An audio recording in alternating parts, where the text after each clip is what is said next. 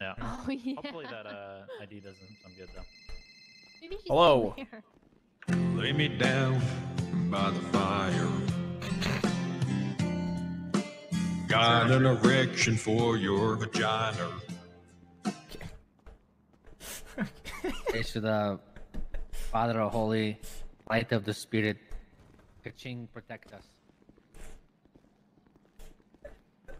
What the fuck was that? Yeah, when he mentioned he needed IDs with no trace, so basically I was like, oh, I know just the guy. You. Somebody is actually going around calling Yellow Page ads for an unknown number with that. That's actually hilarious. Wait, hello?